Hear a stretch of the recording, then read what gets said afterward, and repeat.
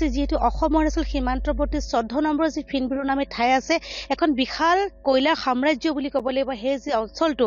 আৰু ইতিমধ্যে দেখা গৈছে যোৱাকালি পুৱতি নিশা তিনিজনকৈ লোক যিহেতু চন্দন নাৰ্জাৰী লেখক বৰা আৰু জ্ঞান থাপাই তিনিওজনক যিহেতু কোনো উগ্ৰপন্থী সংগঠনে ইতিমধ্যে আলফা স্বাধীন আৰু N S N K Y বুলি সন্দেহ কৰা হৈছে তেওঁলোকে যিটো এখন ডাম্পাৰে উঠাই লৈ গৈছিল।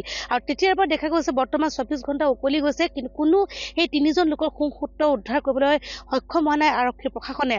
ইতিমধ্যে তিনিচুকীয়া জিলা আৰক্ষী প্ৰশাসনৰ এটা বৃহৎ দল লগতে অৰুণাচল আৰক্ষী প্ৰশাসন আৰু সেনাবাহিনী দলে তন্ন তন্নকৈ যিটো অভিযান অব্যাহত ৰাখিছে গভীৰ বনাঞ্চলৰ মাজত কিন্তু বৰ্তমানলৈকে কোনো ধৰণৰ খবৰ লাভ কৰিবলৈ সক্ষম হোৱা নাই। লগতে সংবাদ মাধ্যমৰ সন্মুখতো কোনো কথা সদৰি কোৱা নাই তেওঁলোকে। ইতিমধ্যে দেখা গৈছে এই যে তিনিজন লোক যি জ্ঞান থাপা চন্দন নাৰ্জাৰী আৰু লেখক বৰা তেওঁলোকৰ বৰ্তমান পৰিয়ালবৰ্গৰ লগত আমি যি যোগাযোগ কৰিবলৈ চেষ্টা চলাইছিলোঁ কিন্তু বৰ্তমানে জ্ঞান থাপাৰ পৰিয়ালৰ সৈতে আমাৰ যোগাযোগ হৈছে।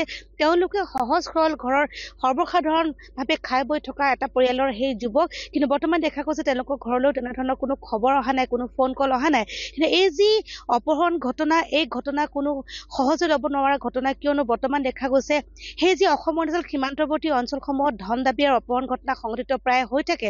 পূৰ্বতেও তেনেদৰে প্ৰায় শ্ৰমিক কৰ্মচাৰীক এনেদৰে উগ্ৰপন্থী সংগঠনসমূহে অপহৰণ কৰি লৈ গৈছে আৰু এনেদৰে পৰা ধনৰ লেনদেনৰ বিনিময়তে অপহৰণ কৰি ধন আদায় দিয়াৰ পিছত পুনৰ মুকলি কৰি দিয়া ঘটনাও পূৰ্বতে বহু তথ্য জনা গৈছে। কিন্তু ইতিমধ্যে দেখা গৈছে এই যি নতুনকৈ তিনিজন যুৱকক অপহৰণ কৰি লৈ গৈছিল ইয়াতো ক'ব লাগিব যিহেতু ধনৰ লেনদেনৰ বিনিময়তে এই যি ঘটনা সংঘটিত হৈছে বুলি। কিন্তু বৰ্তমান দেখা গৈছে সেই যি চৈধ্য নম্বৰ ফিনবৰু অঞ্চল এক বিশাল অবৈধ কয়লা খনন কাৰ্য চলি থকা এক সাম্ৰাজ্যৰ অঞ্চল হয় আৰু সেই যি অবৈধ কয়লা খনন কাৰ্য সেই অঞ্চলত দেখা যায় প্ৰায় যি ধনৰ যি লেনদেন সেই লেনদেনৰ যি চুক্তি সেই চুক্তি অনুযায়ী হয়তো উগ্ৰপন্থী সংগঠনসমূহে সেই ধন আদায় নিদিয়াৰ পৰিণতিতে এনে ঘটনা সংঘটিত হৈছে নেকি তেনেধৰণৰ সন্দেহ প্ৰকাশ কৰিছে।